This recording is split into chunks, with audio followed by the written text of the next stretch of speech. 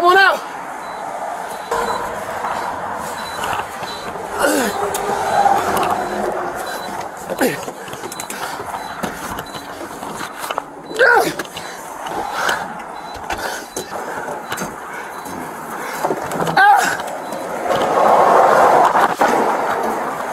I need help pulling.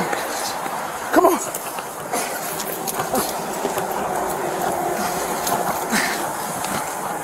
Sir. Sir. Wake up, wake up, Wake up, sir.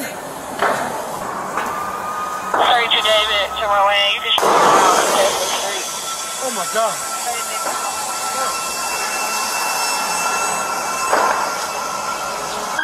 He's unresponsive.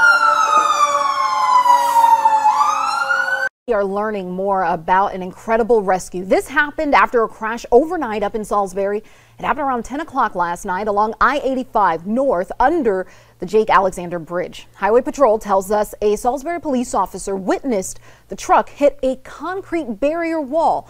The cab caught fire. Troopers say the Salisbury police officer was able to get the driver out of the cab and save his life.